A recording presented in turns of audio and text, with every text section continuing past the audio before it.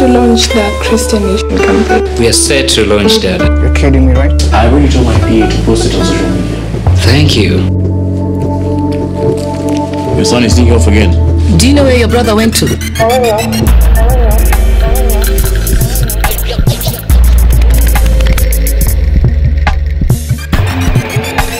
I think this campaign is going to have a great impact, especially among the young people. Didn't come to church today.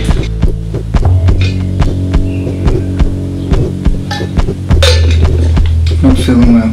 Was Laban with you? You know, um, Laban, you don't have to lie to me. You're like a son to me. You lied to mom. I didn't know that. I saw you guys before they left.